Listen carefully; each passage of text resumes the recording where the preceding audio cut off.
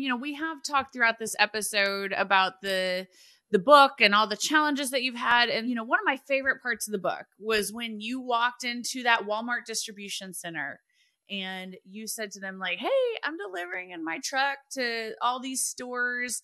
Um, and oh my goodness the relationship and, and how that moment that courage how that has been it's just grown into so much. If you visit the producemoms.com folks, the the blog that we composed that um that that to celebrate Sarah as our inaugural Trailblazer Award, we've actually embedded remarks from Doug McMillon himself into that blog talking about Sarah's importance as it relates to sourcing products from woman owned businesses.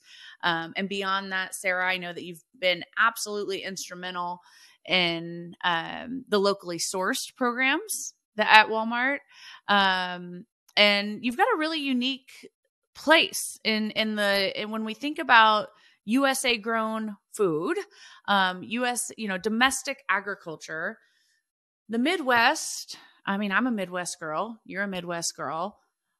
Not necessarily the area that folks think about when it comes to fruits and vegetables. So, how did you make it happen? Like, tell us a little bit more about that growth with Walmart, the actual programming that you are a real catalyst for building there, um, and and you know, and, and of course, there's challenges. So, just share more about it. First of all, you'd mentioned Doug McMillon, and and I got to say, so like I'm I'm a total fan of Doug McMillon and Me his too. leadership, and Yeah. I just remember, you know, during the early days of COVID, when in our industry we were watching everything um, just shut down around us, and we're all working to hang on and try to figure out, you know, how we're going to move forward in our businesses and and and what what the next few weeks or what the next few years would be like in in our businesses.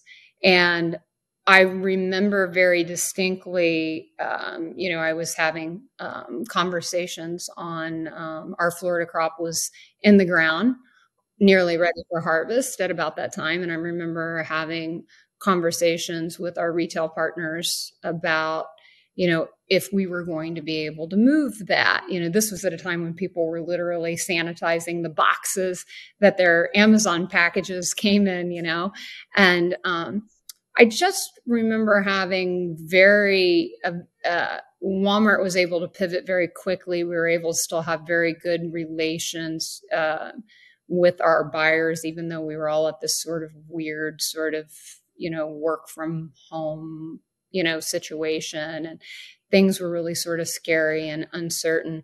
Um, but you never really got that sense from the people in the company.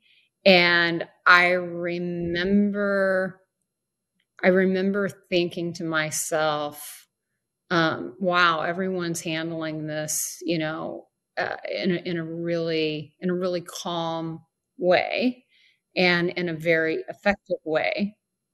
And as I was making a lot of decisions for our own company uh, that were, you know, you know, Im- Im- impactful and scary at times.